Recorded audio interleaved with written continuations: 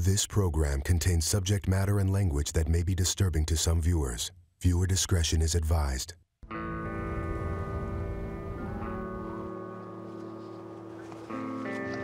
You look good.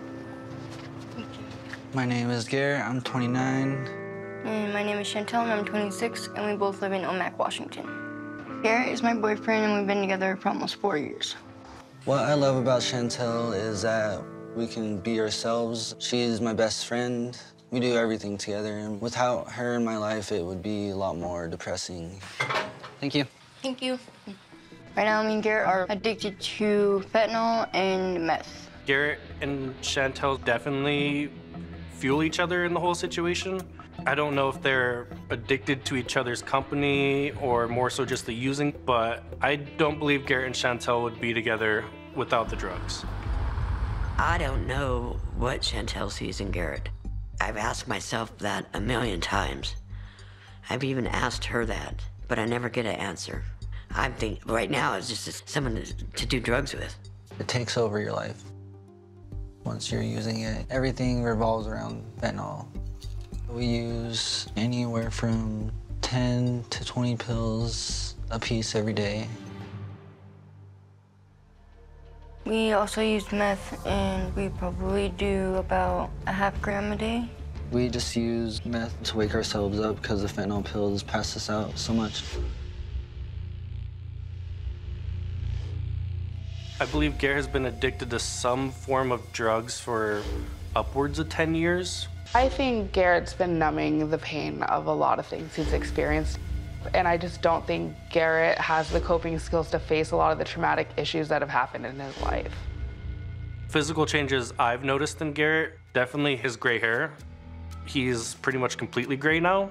He's skinnier, and his drug use is on a steady downhill slope. I thought it was just THC, marijuana, so on and so forth. Had no idea that it was progressively getting worse. I've noticed a lot of changes in Shantell's physical appearance because of the drug use, the weight gain, the weight loss. She does have a lot of little sores and stuff on her face. And her teeth are pretty much gone. Yeah, it makes me feel really embarrassed. It sucks. It's pissing her off right now, I can tell. yeah. The last three years, Shantell's been arrested at least two times that I'm aware of, and she ended up with a felony for identity theft, for check cashing. To pay for drugs, Shantell has done a lot of rotten things. She's stolen money from me, she's stolen money from the whole family. I mean, God only knows what she's done for money. I don't like to think about it. I help Garrett and Shantell financially every month, even though I'm just on a fixed income. I give him money to do yard work, and that doesn't get done. The sickness really f***ing sucks. I wish I would have never taken that first hit and gotten into it. It's not good. It's not the life I wanted to live. Garrett was a cute baby. He was big. He was eight and a half pounds. Garrett and I were always basically hand in hand everywhere we went. Hunting, fishing, hiking, being out in the mountains. We learned a lot of stuff from my dad. It got us to be a lot closer. But life was pretty rough, I guess you could say, growing up. It's, it wasn't normal at all. Their dad and I had a very volatile relationship. There was physical abuse, there was mental abuse, but we also used together. my mom's also an addict, and my dad was too. Addiction was pretty prevalent in our lives. Ever since I could remember, they were both addicted to cocaine. The cocaine is what destroyed our relationship. And Garrett was four and a half when her dad and I broke up. Once my parents split up, we moved around quite a bit, going house to house, school to school. For over eight years, it was unstable. It made me feel pretty scared. I needed my parents to be there more for us.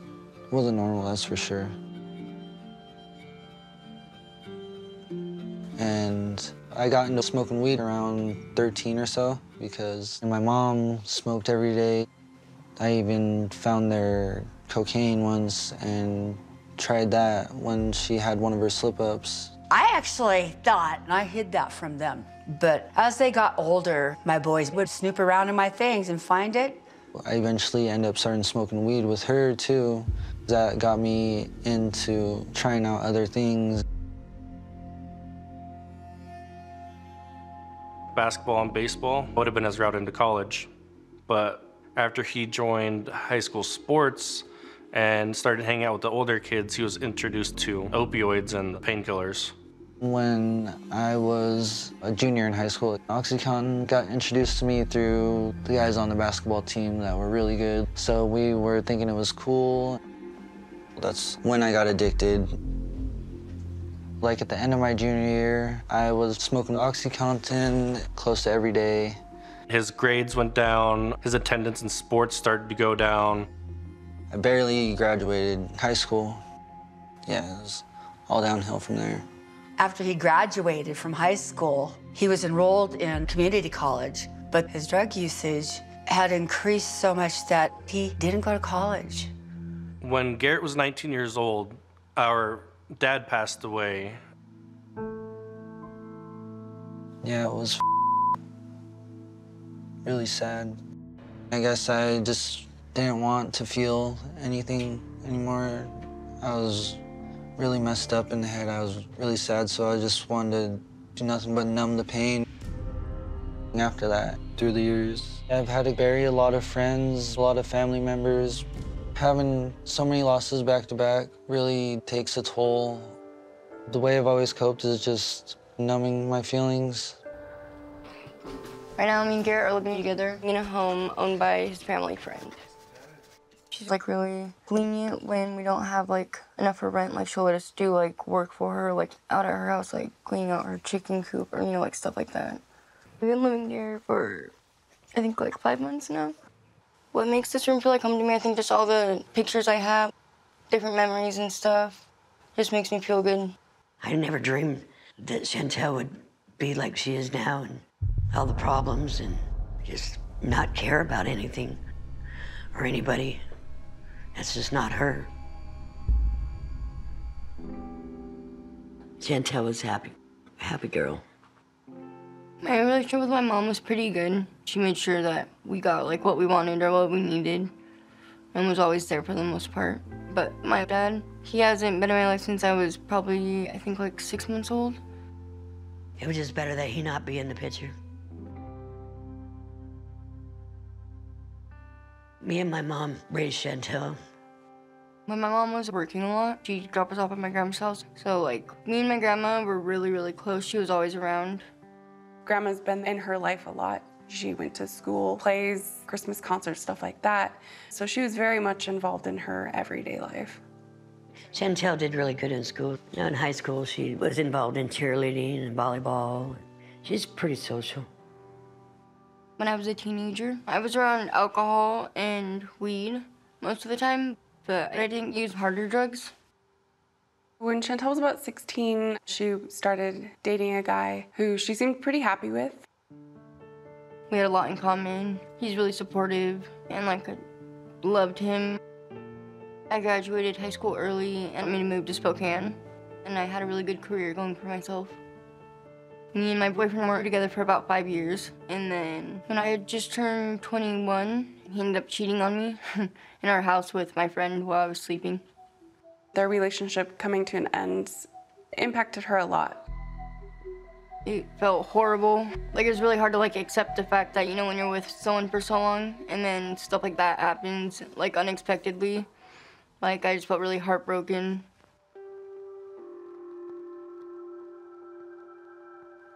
Her grandma was her world. She'd tell her grandma things that she'd never tell her mom. It was really hard losing her. Sorry, I get super emotional when I talk about my grandma. Just her whole life got turned upside down. I think it was only like a month and a half after she passed away that I tried heroin. I had this one friend come over and she was into heroin. We were pretty close friends and she made it look like it wasn't that bad. I was still like dealing with a breakup. I just lost my grandmother. I was just feeling really hurt and just wanted to forget everything. When I took the first hit of heroin, I felt like numb. From there, I just started doing it every day after that. Her drug use was progressively getting worse. And before you know it, it was too late. She had gotten herself in trouble, lost her job. She ended up homeless. Once I moved back to Omak, it was harder to get heroin here in Omak, so I slowly just switched over to fentanyl. At that point, I was like, well, everything can't get much more messed up, and like slowly just ended up losing everything. I was hoping that maybe it'd get tough enough where she'd smarten up and say, hey, I need to, something needs to change. Shut the So when I moved back to Omak, I met Garrett because he was supplying me with heroin. We didn't instantly connect, but Shantell's overdose brought us closer. Garrett gave me the heroin. I did too big of a shot, and I don't really remember much.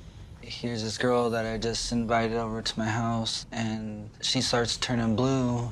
I started freaking out. It scared the out of me. He's the one that actually saved my life. And afterward, he comforted me, and I could tell like he was really freaked out about the situation. It made me realize what life would be like without her, and how much I liked her, and I wanted to be with her. My family feels like we are definitely dependent on one another. Yeah. I mean, I'm not really gonna argue with that. But we see each other growing old together, having kids. We talk a lot about having kids and uh, getting clean together and living life like we're supposed to like adults.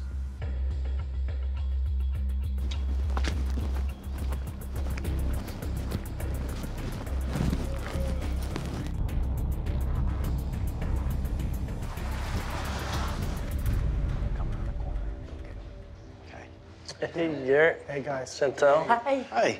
Do you want to come around here? Come on. Well, guys, uh, my name is Zach.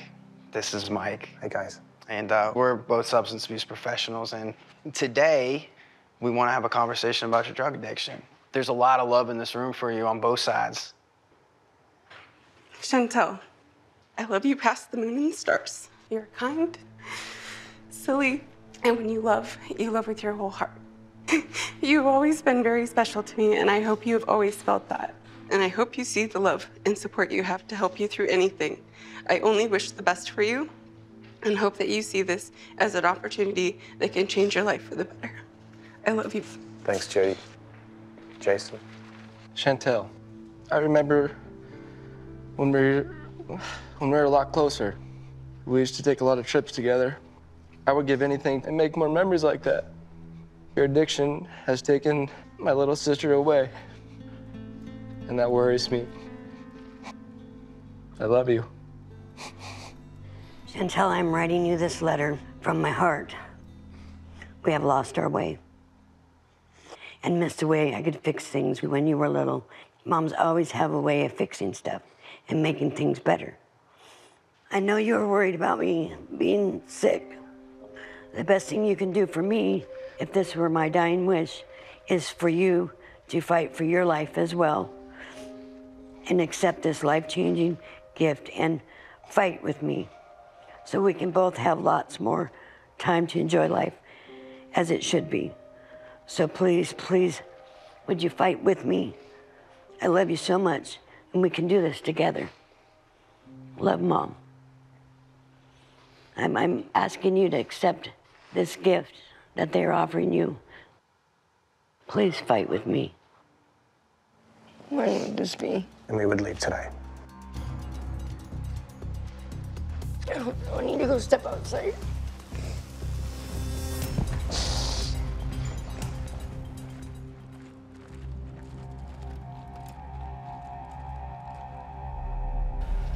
I think they went to use using the porta potty. I'm here for you, baby. So this might be their last hurrah.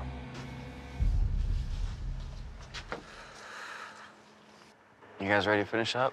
Okay, come on. Here. I always think about the endless amount of the time we spent together as kids, hiking, fishing, hunting, how much fun we had. You are missing out on bonding with my daughters as their uncle. I love you, and I can't wait for you to be a part of our lives once again, Garrett. Connie, I know you took some time to write something down too. Yes. My dear son, Garrett, who I love more than life itself. I became very frightened and spent a lot of time worrying about what can I do for you? How can I help you? Especially when I'm an addict, too. You have so much to offer in the way of things that would make you happy in your life. And I can't wait for the day to see my son smiling and his head and his eyes clear as he gets to enjoy life with his girlfriend who is going to be clean too. And I so much want that for you, Garrett. I mean, I'm going to ask you, please, please accept this help. Will you accept going to treatment? Are, are, you, are you accepting the offer? Yeah. Yep, yep. Shantell? Yep, okay. Great. I love you so much. Kingston, this place is amazing. I need you. I need you so bad. It's not gonna be easy, but she's got it. Just stay strong. Oh, you're gonna take care of him, honey.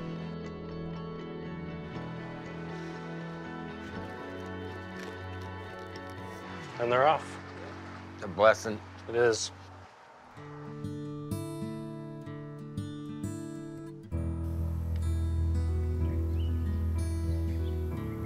The journey has been real so far.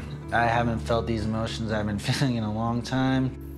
My first few days, I was really lost. And then finally, Mike Diamond gets on the phone and he's like, hey, man, you don't gotta, like, I got Shantell on the phone. And she's like, I'm in the hospital right now. They woke me up to an ultrasound. I'm seven weeks pregnant. So, like, right then and there, I made the decision, like, okay, like, we gotta do this. I mean, it's win it now. Been sober for 95 days and I feel really good. I have self-confidence again. It feels nice to feel my feelings and not be numbing them. Going into treatment knowing I was pregnant was scary, but finding out I was gonna be a mother definitely motivated me a lot more. So these are pictures from my sonogram. So that's her. I'm 20 and a half weeks. Me and Garrett are still together. We would write letters to each other, so we'd get them like every other week, and then we had like three Zoom calls with each other. Learning to know who Garrett is sober, I'm really excited for it, but I'm also kind of nervous at the same time. But I'm really excited for our future.